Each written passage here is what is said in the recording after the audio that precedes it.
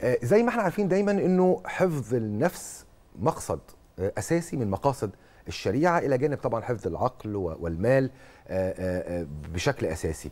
نتكلم عن هذا المقصد أهمية أن تحافظ على جسدك ونفسك كحفظ وكمقصد أساسي من مقاصد الشريعة. بسم الله الرحمن الرحيم وبعد زي ما حضرتك تفضلت إن الشريعة جات لحفظ آه، صحة الإنسان. لأن بالإنسان هتكون كل المقومات اللي المطلوب من الإنسان يقوم بيها من عمران من عبادة من كل حاجة ممكن هو يطالب بيها. لابد إن هو يكون في عنده من الصحة ما يمكنه إنه يقوم بهذه آه، التكاليف.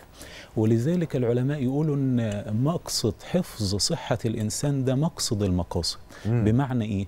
إن أنا عشان أحفظ هذه آه النفس آه لابد إن أنا أحفظ النفس وأحفظ العقل وأحفظ آه آه ما يكون آه من هذا الإنسان من نسل ومن آه أجيال.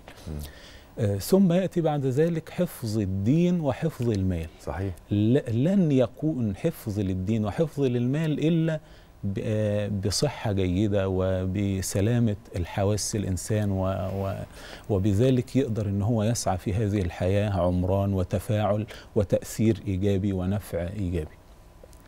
ومن هنا آه، سيدنا النبي صلى الله عليه وسلم ينبهنا على هذه النعمة العظيمة وإن في كتير يهملوا فيها وإن في كتير آه، لا يقدرها حق قدرها فيقول صلى الله عليه وسلم نعمتان مغبون فيهما كثير من الناس الصحة والفراغ.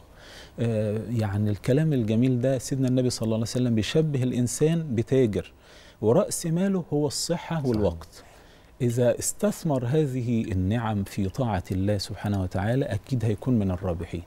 آه، ضيع وأهمل لا شك أنه هو هيخسر رأس ماله وهيروح آه، سدى آه، سيدنا النبي صلى الله عليه وسلم بيحثنا على اغتنام هذه النعمة ويقول آه، اغتنم خمسا قبل خمس ويذكر منها صلى الله عليه وسلم وخذ آه، واغتنم من آه، صحتك لمرضك. واغتنم آه، العافية في وقت العافية قبل أن تأتي آه، ال- الآفات أو ال- المعوقات التي تعوق الإنسان عن أنه يسعى في هذه الحياة. آه، هذا المعنى العظيم آه، آه، يعني منتشر في كثير من ال- الآيات والأحاديث حتى يعني تشيع في الحكم أن هذه الصحة وهي نعمة عظيمة تاج على رؤوس الأصحاء لا يراه ولا. يشعر به إلا من يفقد هذه النعمة. آه وحتى الشاعر يقول إني وإن كان حب المال يعجبني فليس يعدل عندي صحة الجسد.